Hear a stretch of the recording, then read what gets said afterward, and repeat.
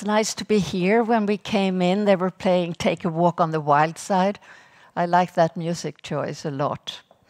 So Hamlet Biopharma is an innovative company that I actually was part of starting. I'm not the CEO, I'm the founder and chairman of the company. Uh, Hamlet Biopharma is a highly innovative uh, company that, and I don't have this thing. Here we go. Um, working with two indications, cancer and infections. We have a broad pipeline of more than 15 projects, 60 patents, and we are focusing on on three projects that are in phase two trials. Alpha-1H for bladder cancer and an IL-1 receptor antagonist that we are testing for bladder pain and for recurrent acute cystitis. Our way of working is to define mechanisms of infection, precise mechanisms of infection, and to decide drugs that interfere with those mechanisms. And we have our scientific identity, we have our scientific lab ongoing and in symbiosis with the drug development platform that we have developed. And the success of that, as I said, is shown by these three projects that are in clinical trials and by a rich pipeline of very interesting molecules. So recently, Hamlet Biopharma completed a successful financing round. We raised about almost 50 million through a rights issue, and we are really proud that this was completed without warranties and without convertibles.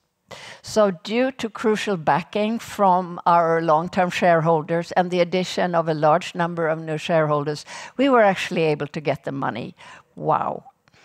And then the market's positive response following the rights issue is also something that we are, of course, extremely happy about. So the company is visible, what our work is visible, and hopefully we can reach the goals that we have set out to reach.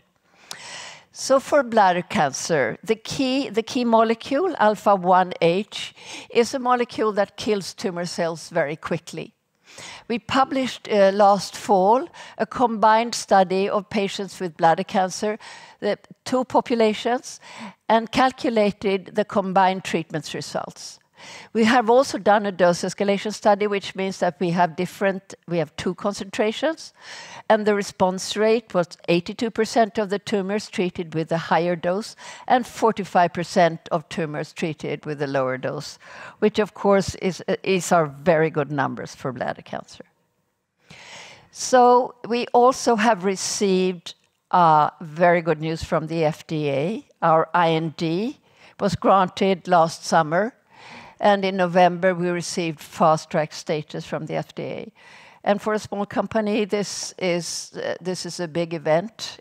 We have been collaborating with a partner in the US who are the spokespersons with the FDA for several years. And by systematically following the advice, we have been able to, to place our portfolio qualitatively and quantitatively in such a position that this is now possible. And we are proceeding towards phase three trials in dialogue with the FDA. So the clinical studies in summary for bladder cancer, we've completed a placebo-controlled study and a dose escalation study, as I said, and we have an ongoing study to, to examine more details about the, the future phase three trial protocol. The, the results are, are no drug-related safety issues, which I think is very unusual for a cancer compound. And as I said, the combined data analysis and the numbers. The top panel here shows you the increase in effect with increasing dose uh, the reduction in tumor size. I think you can appreciate the uptake. The red color here is the uptake of drug by the tumor. It targets the tumor very efficiently. And the green color here is apoptosis, which means that the tumor cells in the treated patients are dying by apoptosis. As you know, this is a non-toxic form of cell death, and we're very interested in this mechanism. We've also added news recently about another mechanism of the anti-tumor effect of alpha-1H, and this is the immune response. So there is a rapid and effective immune response to the tumor in patients treated with alpha-1H. So in addition to killing tumor cells and inducing tumor cell shedding, alpha-1 also activates a broad immune response with a strong protective potential against the cancer. Another aspect of this response, which is quite interesting, is that it resembles BCG. BCG are mycobacteria. They are the drug of choice for bladder cancer. You inject them into the bladder of the patient, and the immune response builds up, and the immune response rejects the tumor. So this is something that the, field is used to, the urology field is used to treating with BCG. Now, if we compare the immune response to our, to our compound and BCG from literature studies, you can see this huge overlap all of these cytokines, all of these immune response parameters are regulated both by our drug and by BCG. And there are some additional cytokines that are regulated by the higher dose of our drug. Comparing the pattern here of activation, our activation pattern very, very significant values compared to placebo. All of this is compared to placebo. And then the literature studies of BCG, you can see the great symmetry between those two. And of course, that's very interesting because it suggests that our non-toxic compound is able to mimic many of the aspects of BCG, which has a lot of side effects associated with it. I would also like to mention a little bit about our studies in the infection and immune immunomodulation field. We all know that antibiotics are, are not as efficient as they should be, and that other, other approaches are needed. There are lots of attempts to make more antibiotics, but that not, that's not our approach. Our approach is to use the immune system of the host, to strengthen it in such a way that it can get rid of the infection and at the same time have less inflammation. Sounds impossible, but actually it works. So I mentioned before that we are working with the IL-1 receptor antagonist to do immunotherapy in two indications. One is bladder pain syndrome, and the other is recurrent acute cystitis. So bladder pain syndrome is a relatively rare, but affecting about 0.1% of the global population. This disease causes severe chronic lower urinary tract symptoms. The, the patients are kept awake at night it's difficult for them to hold a job or to have a family life. There are no treatments available long term. Morphine is the gold standard, or to remove the bladder by surgery. So this is this is a very special group of, of individuals with a very difficult handicap. Of course, acute cystitis is the opposite. This is what every other woman has at least once in her life, and many women have recurrent cases of these infections. There is really no good alternative to antibiotics. So I'd like to show you some data for the, the, the, bladder pain study, the phase two study that we are now conducting. The data is from an earlier publication, but I think it illustrates our point. So we see a reduced pain score in those patients. We see an increased quality of life. So and we also see a reduction in pain molecules. And what do I mean by that? I mean that we have objective measures, molecular measures, that indicate the response of the patient to treatment and the reduction of pain that actually could serve as potential biomarkers in the future. And significant effects of this treatment were, were detected in the majority of patients. So the phase two study is ongoing, and we are very optimistic about these outcomes. There is also the question about antibiotics and antibiotic resistance. I'm not showing you mouse data because the clinical data, oops. Oh, no, I'm not. I apologize for that. So in summary, successful round of financing that we are very proud of. New clinical data for two indications, bladder cancer and bladder pain syndrome.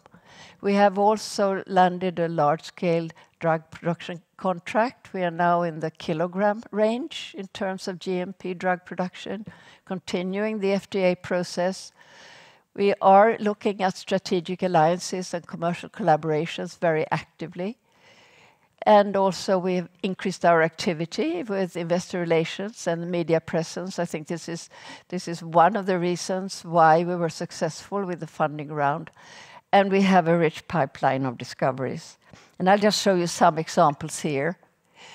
of course, there are other indications for alpha-1 and for Hamlet, brain tumors, colon rectal cancer, oral cancer. These are indications that we are looking at, uh, but not actively in clinical phase. We also work with a molecule that's very interesting. It's called an RNA Pol II inhibitor. It doesn't say anything, doesn't tell you anything. Think of the microbiome. Think of nice bacteria producing good things for the body. We've looked at that a long time ago. Now we're at the stage when we can actually purify molecules from these nice bacteria and use them as drugs. And the effects in animal models are amazing. We also have competence, some of it in our room, where we actually can see the mechanism exactly in a lock and key situation, where we can say exactly how this works. I'm really looking forward to the continued development of this group of molecules. And we have additional projects in the pipeline. So with that, I would like to thank you very much for your attention.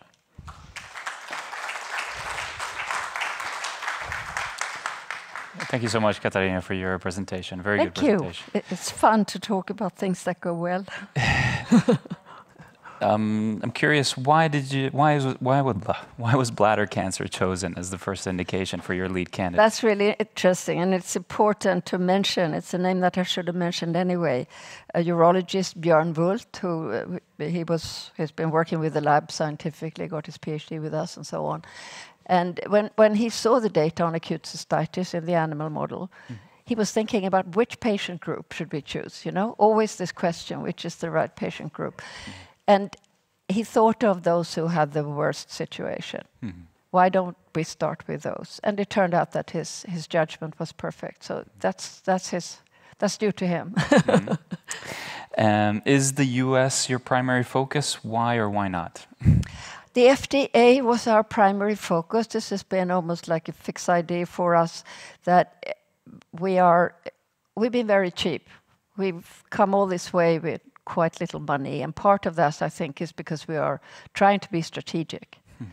So for me, uh, there was a need of a third party out there to tell us what to do. Mm-hmm. Instead of us trying to second guess. So, so this FDA contact has been been part of that. It doesn't mean that we have funding to do clinical trials in the U.S., not at this point, but of course, a good dialogue with the FDA might, might enable that in the future. What is your exit strategy? How do you plan to achieve it? Well, what we say and what we believe is that we would like a partner that has the muscles and competence to take this on. We are very happy to discuss our investors and their exits mm-hmm. because it's close to our heart.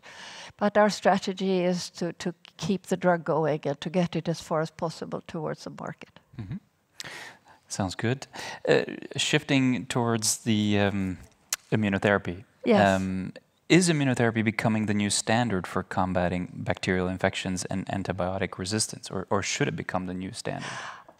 I wish. I mm-hmm. mean, uh, we've been working with this for for a while. Mm-hmm. And and there are very elegant studies by by coworkers in the lab who have published in excellent journals, really showing how strong these effects are. And I mean, we are, they are very motivated to take this on. Um, it's sort of a non-conventional thing in that most of you believe that if you inhibit the immune response, you get more sick, right? So people who have many infections, they usually have some deficiency of the immune response. What we're looking at is the overreactivity of the immune system. And I think after COVID, you all understand that, right? You get too sick. You get sick because you have too much immunity. And this is the one that we're putting the lid on, not the one that you need for your for your normal defense. I really believe in this. I wish there was more activity in this field, really. Mm. And final question. Yeah. As founder of the company. Thank you. Uh, uh, what was your vision when you founded the company, and would you say you've reached that vision? Yeah. First of all, everything is many people. But and the reason we founded the company was because we realized that a piece of human milk was killing tumor cells. Mm-hmm. And there were several people involved from the start. I think I was thinking that if we just get to the point where we have something from the FDA. Mm. then we will be credible.